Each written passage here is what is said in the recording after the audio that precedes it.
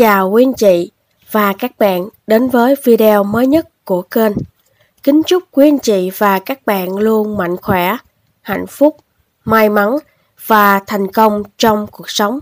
Sau đây, hãy cùng kênh tìm hiểu xem tử vi tuổi Tân Mùi, sinh năm 1991, nữ mạng về sức khỏe, tài lộc, tình duyên, sự nghiệp, sao hạn chiếu mệnh, có phạm thái tuế, tam tai, kim lâu, hoàng ốc không. Và trước khi bước vào nội dung chính, quý anh chị và các bạn đừng quên đăng ký miễn phí kênh và ấn vào tín hiệu chuông để luôn là người đầu tiên nhận được thông báo khi có video mới nhất. Tổng quan về tuổi Tân Mùi, sinh năm 1991, nữ mạng. Nữ mạng sinh năm 1991, tuổi Tân Mùi, tức tuổi con dê, thường gọi là đắc lộc chi dương, tức dê có lộc. Mệnh thổ, lộ bàn thổ, nghĩa là đất ven đường. Mệnh lộ bàn thổ gặp năm 2021 là mệnh bích thượng thổ, tốt. Địa chi, mùi gặp sủ, lục sung, xấu. Thiên can, tân gặp tân, tương hợp, tốt. Sao chiếu mệnh, sao thái âm, vận hạn, hạn tam kheo, vận niên, dương hồi ngàn, thái tuế năm 2021, phạm thái tuế, sung thái tuế. Tam tai năm 2021 không phạm tam tai. Tuổi Kim Lâu năm 2021 không phạm Kim Lâu. Hạn Hoang Ốc năm 2021 không phạm Hoang Ốc. Sao chiếu mệnh năm 2021 của tuổi Tân Mùi, sinh năm 1991, nữ mạng. Sao Thái Âm là một các tinh mạnh thuộc hành thủy, là sao chiếu mệnh tốt, chủ về danh lợi lưỡng toàn. Tác động của sao Thái Âm như sau. Sao Thái Âm chiếu mạng nam nữ thường có cơ hội bội thu về tài lộc, sao chiếu mệnh nam giới sẽ được người khác giúp đỡ về tiền bạc, sự nghiệp, nếu đang trong độ tuổi kết hôn có thể lập gia đình. Sao chiếu mệnh nữ giới sẽ phát triển sự nghiệp mạnh mẽ, danh lợi lưỡng toàn, sinh con. Có lợi cho ai làm việc liên quan đến bất động sản, tu sửa, sửa chữa nhà cửa đều các lợi. Người được sao thái âm chiếu mạng cuộc đời tốt đẹp, có phúc phần. Nếu sao thái âm hãm địa đồng cung với văn khúc thì phần lớn làm nghề tự do. Sau này mất ánh sáng ở mão, thìn, tỵ, ngọ. Trong lúc đó dậu tuất, hợi, tý là miếu địa, miếu, vượng địa. Cung, sửu, mùi có sao Thái Dương đồng cung là chủ bình hòa, thêm các tinh cũng tốt, gặp sát xung phá thì bất lợi. Sao Thái Âm, Miếu Vượng, ở cung mệnh, chủ về, vợ sang, có tài nội trợ, gặp được nhiều phụ nữ đẹp, nếu có văn khúc thì có thể ảnh hưởng tới cung đối là quan lộc, chủ về, quý. Sao Thái Âm tối kỵ đồng cung với sao Kình Dương, chủ về, tiền bạc bị phá tán, bị sao của vợ, con gái, mẹ, xung phá nên phụ nữ trong nhà có hình khắc thương vong. Sao thái âm ở tật ách thì có chứng tiểu đường, âm hư, sa bì, phong thấp, can vượng, trướng nước, tật mắt. Thái âm gặp hãm địa lại thêm sát thì bị ung thư gan. Thái âm ở điền trạch chủ về giàu có nếu ở gần vùng đất thấp trũng, có hồ nước hoặc đường nước, sông, rạch, khe đầm, giếng nước hoặc nơi ít ánh sáng thì tốt. Khi gặp sao thái âm, trong năm đương số thường gặp nhiều may mắn, thuận lợi, tài sản thu được rất phong thịnh, nhất là vào tháng 9 âm lịch. Sang tháng 11 thì kém may mắn, vì khi ấy là thời điểm trọng đông, thời tiết lạnh lẽo, u ám, thì sao thái âm thuộc hành thủy. Khi thủy khí cực vượng, tâm lý con người thường có sự biến đổi. Nhiều người nội tâm, trầm cảm, suy nghĩ nhiều, u buồn, lo lắng, với bản chất là một sao chỉ tài phú, người xưa nhắc nhở, khi có tiền vẫn phải tiết kiệm và biết cách giữ gìn. Vận hạn năm 2021 của tuổi Tân Mùi, sinh năm 1991, nữ mạng. Hạn tam kheo là hạn chủ về sức khỏe. Người gặp hạn tam kheo nên chú ý các bệnh về khớp, tránh ở nơi ẩm thấp, không nên đến những chốn đông người, tránh kích động khi gặp những tình huống mâu thuẫn trong xã hội, vì dễ dẫn đến chấn thương do xô xát. Ngoài ra, người gặp hạn tam kheo cũng cần nên đề phòng những chấn thương ngoại khoa như tay chân, xương khớp. Người xưa dùng câu tam kheo thống nhãn thương thủ túc để mô tả tất cả những việc mà những người gặp sao hạn tam kheo phải gánh chịu trong vòng một năm. Về sức khỏe, những người có hạn tam kheo trong năm cần chú ý thường bị đau mắt và tay chân. Những tuổi gặp năm hạn tam kheo có thể bị bệnh suy giảm thị lực, đau mắt, cận thị. Một số khác có thể mắc bệnh liên quan đến xương khớp, tay chân hoặc bị té ngã dẫn đến tay chân bị thương tích.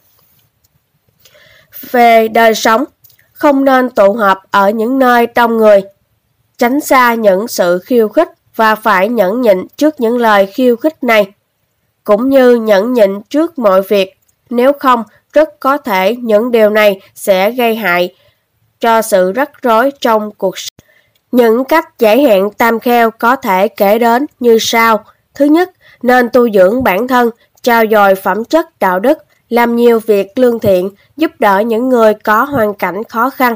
Những hoạt động từ thiện giúp đỡ những người khác thường mang lại may mắn cả về sức khỏe lẫn công danh. Có thể nói, đây là cách được coi là giải hạn tam kheo nói riêng cũng như mọi loại hạn nói chung. Thứ hai, giữ gìn vệ sinh, bảo vệ thị lực nên tăng cường vitamin A trong thực phẩm, hạn chế tiếp xúc với nhiệt độ cao, ánh sáng mạnh, khói bụi, ô nhiễm, giữ vệ sinh nguồn nước cũng rất quan trọng. Những bạn làm công việc liên quan tới cơ khí, hàn gắn thì cần phải bảo vệ với những trang bị bảo hộ đầy đủ, kỹ càng. Khi làm việc với máy tính, điện thoại với cường độ lớn thì cần phải nghỉ ngơi phù hợp. Thứ ba, vận dụng cách giải hạn tam kheo. Việc cải thiện phong thủy, nhà ở cũng được đề cập đến, tránh để tình trạng hơi ẩm cao, giữ ấm khi thời tiết chuyển lạnh để đề phòng các bệnh về xương khớp, tay chân, Ngoài ra, nên vận động thể dục, thể thao để có sức khỏe tốt. Thứ tư, đối với các vấn đề về thị phi, miệng tiếng, châm biếm, đã kích, phê bình thì các bạn nên có những ý kiến giải thông đạt. Không nên chấp vặt, thù dai, để bụng, để tinh thần, chất chứa những điều không vui, hãy coi như họ nói đùa mà thôi. Vận niên năm 2021 của tuổi Tân Mùi, sinh năm 1991, nữ mạng. Dương hồi ngàn là dê được về núi, thỏa chí tan bông, hoa quả nhiều khắp nơi, cây cỏ cũng tươi tốt mượt mà, tha hồ thưởng thức. Trong năm này, đường công danh của bản thân có nhiều triển vọng, kinh doanh buôn bán cũng gặp dịp phát tài. Trong năm này, bản mệnh thường gặp được nhiều bạn tốt, nhiều cơ hội may mắn đang chờ đợi bạn ở phía trước. Hơn nữa, trong năm này, bản mệnh còn đón nhận thêm tin vui trong gia đình như thêm người, thêm của. Trong năm, bản mệnh cũng nên biết kiềm chế, khiêm nhường, thì đường công danh sự nghiệp mới được bền lâu. Ngoài ra, bạn cũng cần phải chú ý khi tham gia giao thông, lưu ý tiền bạc và tài sản cẩn thận tuổi Tân Mùi, sinh năm 1991, nữ mạng. Trong năm 2021 có phạm thái tuế không? Trong năm 2021 có 5 con giáp tuổi Sửu, Mùi, Thìn, Ngọ, Tuất sẽ phạm thái tuế, cụ thể như sau. Tuổi Sửu năm 2021 là năm bản mệnh, năm tuổi, Tuổi Sửu phạm trị thái tuế hay còn gọi là trực thái tế vận trình gặp nhiều trở ngại, sức khỏe bị ảnh hưởng. Tuổi ngọ năm 2021, tuổi ngọ phạm hại thái tuế, bản mệnh dễ bị người khác hãm hại, bị bạn bè bán đứng, chuyện hợp tác, làm ăn đổ bể, tổn hao tiền của, ngộ độc thức ăn, bản thân hay bạn bè, người thân thiết gặp bệnh tật, tai họa, dễ bị hiểu lầm dẫn tới tổn thất to lớn, bị kiện cáo. Tuổi mùi năm 2021, tuổi mùi phạm sung thái tuế, bản mệnh trong năm, làm chuyện gì cũng bị ngăn cản, dễ bị cạnh tranh, vận trình nhiều biến động. Tuổi thìn năm 2021, tuổi thìn phạm phá thái tuế, bản mệnh dễ gặp phải những chuyện bị phá hoại bất ngờ, có thể bị phá cho mất đi quyền lực, tiền tài hay sức khỏe, tình duyên, bạn bè, tình thân, các mối quan hệ xã hội. Tuổi Tuất năm 2021, tuổi Tuất phạm hình thái tuế, bản mệnh cẩn thận kẻo vướng họa kiện tụng, tiểu nhân hãm hại, bị phạt tiền, mất việc, bản thân và người nhà, sức khỏe có vấn đề. Như vậy, trong năm 2021 thì tuổi Tân Mùi, sinh năm 1991, nữ mạng, phạm Hạng thái tuế, sung thái tuế.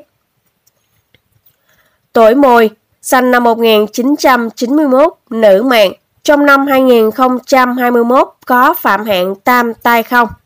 Hạng tam tai chính là hạng của 3 năm liên tiếp đến với mỗi tuổi. Tam có nghĩa là 3, số 3, thứ 3, còn tai nghĩa là tai họa, họa hại.